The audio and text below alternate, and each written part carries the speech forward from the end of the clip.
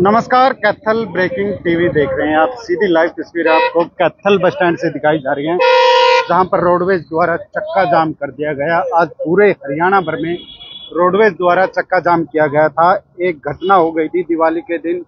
Roadways कर्मचारी की अम्बाला में हत्या कर दी गई थी। ड्यूटी के दौरान उसकी हत्या कर दी जाती है। लाठी उन रोडवेज़ कर्मचारियों द्वारा बताया गया है कि वह ड्यूटी पर तैनात था और रात को कुछ बदमाश, उनका कहना है कि कुछ बदमाश आते हैं और उसको लाठी डंडों से पीटते हैं। उसको फिर बाद में पीजीआई ले जाया जाता है, जहाँ पर उसकी मृत्यु हो जाती है और उसी को लेकर के प्रशासन, उनका कहना है कि प्रशासन द्वारा उचित कार्रवाई नहीं की जा रही है। दोषियों को पकड़ा नहीं जा रहा, उसको लेकर के आज पूरे हरियाणा भर में रोडवेज़ द्वारा चक्का जाम कर दिया रोडवेज़ द्वारा चक्का जाम कर दिया गया है। कैथल के बस स्टैंड से, कैथल के बस स्टैंड के बाहर से सीधी लाइव तस्वीरें आपको दिखाई जा रही हैं, जहाँ पर यात्री भी यहाँ पर परेशान दिखाई दे रहे हैं।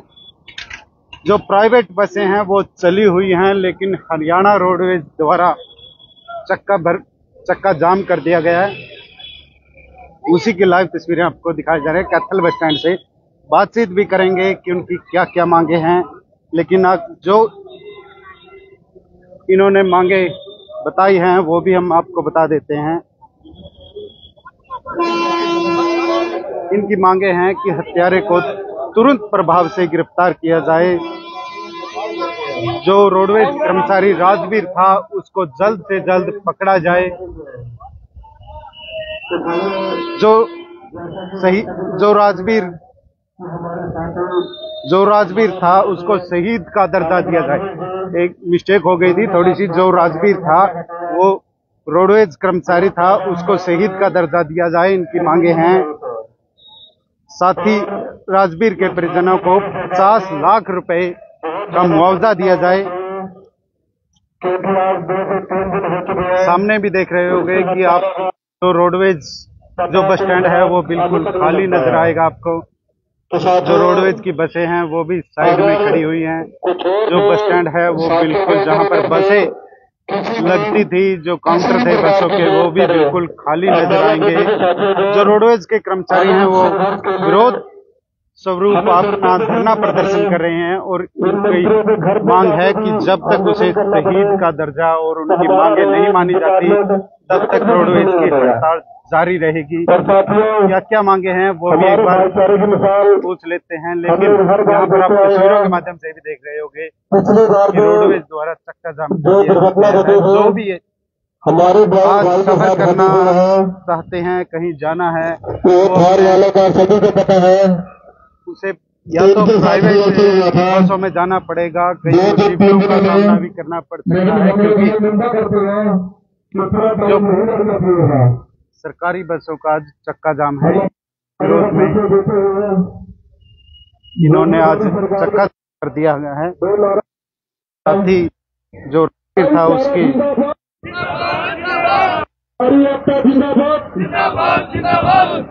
भाईचारा जिंदाबाद। धन्यवाद साथियों। और सभी साथियों से दोबारा पेश करता हूँ। अगर किसी के साथ भी कहीं पे भी थोड़ी बहुत दुर्घटना मुसाफिर हो तो आपसी भाईचारे का परिचय देते हुए एकता दिखानी है। धन्यवाद साथियों।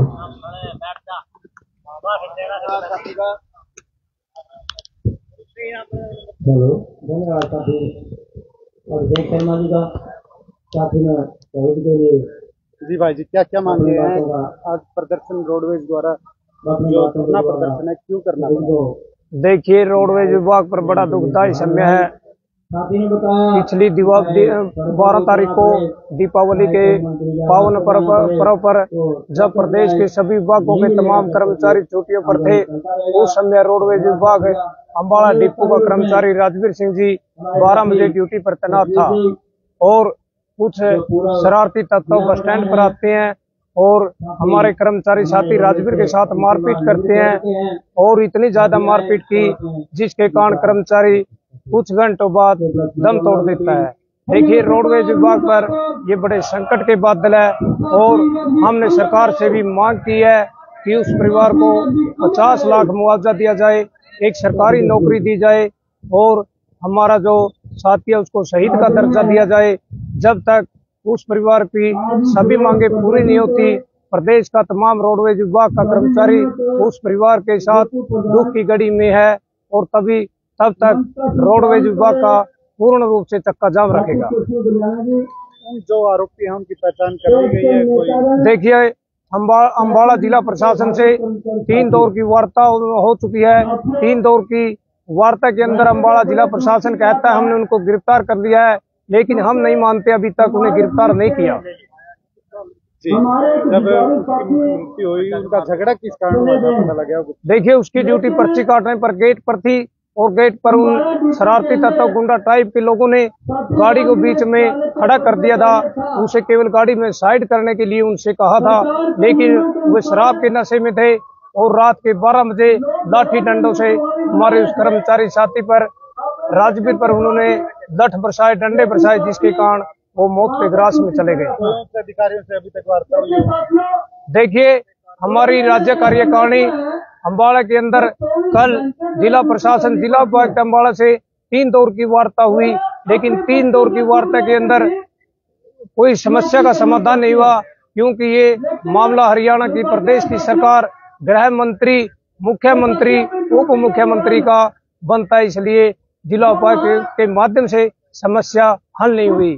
तो हम अम्बाड़ा से गृह मंत्री अनिल विज है जो अम्बाड़ा से विधायक भी है उन्होंने वर्ष 2013 के अंदर जब नरेंद्र काका ने अम्बाड़ा के अंदर शहादत दी थी तब बीजेपी की सरकार नहीं थी तब वो रोडवेज़ बस स्टैंड के प्रांगण में आए थे और उन्होंने कर्मचारी की शहादत को के लिए मतलब मांग भी की थी और उस परिवार के लिए नौकरी की मांग की थी।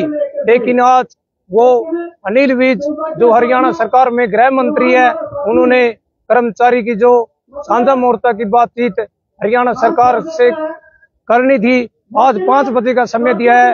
अभी तक प्रदेश की सरकार ने कर्मचारियों से बात नहीं की है और जब तक प्रदेश का कर्मचारी प्रदेश के रोडवेज़ विभाग का पूर्ण रूप से चक्का जाम रखेगा जब तक हमारे साथी राजवीर को पूर्ण रूप से न्याय नहीं मिल पाता। परिवहन मंत्री से भी वार्ता रखा गया उसके दौरान यदि देखिए परिवहन मंत्री से आज शाम के पाँच बजे वार्ता के लिए मीटिंग रखी गई है और मीटिंग में जो फैसला लिया जाएगा जो राज्य कार्यकारिणी हमें आदेश देगी तो तमाम हरियाणा प्रदेश के डिपो और सब डिपो राज्य कार्यकारिणी के आदेशानुसार आगे जहाँ तक कहेगी वहाँ तक प्रदेश का पूर्ण रूप से चक्का जाम रखेंगे। आगे भी चक्का जाम रह सकता है यदि मांगे नहीं मानी गई। हाँ यदि मांगे नहीं मानी गई जब तक उस परिवार के सदस्य को सरकारी नौकरी और 50 लाख मुआवजा की मांग और शहीद का दर्जा पूर्ण रूप से प्राप्त नहीं होता तब तक रोडवेज़ के तमाम डिपो और सब डिपों का चक्का पूर्ण रूप से जाम रहेगा। तो आप तस्वीरों के माध्यम से भी देख सकते हो, यहाँ पर रोडवेज़ कर्मचारी प्रदर्शन कर रहे हैं, धरना प्रदर्शन, विरोध प्रदर्शन पर बैठे हैं, और जो बसें हैं, सरकारी बसें हैं, वो साइड में खड़ी हैं, और जहाँ पर बसें लगती हैं, कैथल बस स्टैंड पर, वो भी बिल्कुल खाली पड़ा हुआ है, लेकिन बाहर प्राइवेट बसें चली हुई हैं, यात्री भी परेशान नज़र आते हैं, यात्रियों से बातचीत करेंगे, पुलिस प्रशासन का भी यहाँ पर मौजूद है। आगे भी हम आपको लाइव दिखाएँगे तब तक के लिए जय हिंद। और सरकार का रवैया बिल्कुल है। हम